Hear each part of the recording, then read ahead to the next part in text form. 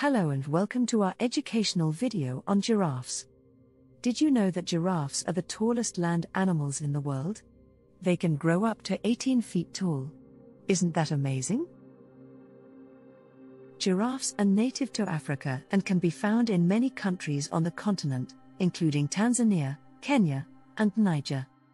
They live in savannas, which are grassy plains with scattered trees. Giraffes have a unique appearance, with their long necks, spotted fur, and tall legs. Their fur is made up of small, irregularly shaped spots that help them blend in with their surroundings and protect them from predators. But their long necks are perhaps the most iconic feature of giraffes. Did you know that a giraffe's neck is so long because it helps them reach the leaves of tall trees? Giraffes are herbivores, which means they only eat plants, and they mostly eat the leaves of acacia trees. Giraffes are also known for their big, prehensile tongues. A prehensile tongue is one that is able to grasp or hold onto things, and a giraffe's tongue can be up to 20 inches long. This helps them grab and eat leaves from trees without having to use their hooves.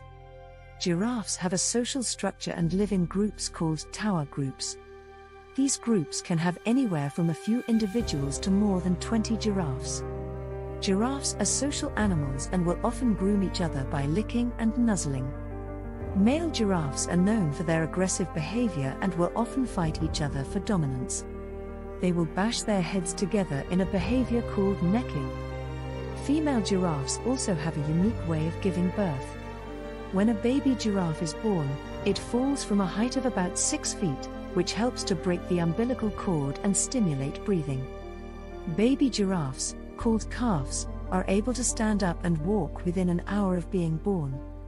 Giraffes have a lifespan of about 25 years in the wild. Unfortunately, they are considered a vulnerable species due to habitat loss and poaching. It is important that we work to protect and preserve their natural habitat so that future generations can continue to enjoy these amazing animals. Answer some questions from the video. 1. How tall can giraffes grow? 2. What countries in Africa can giraffes be found in? 3.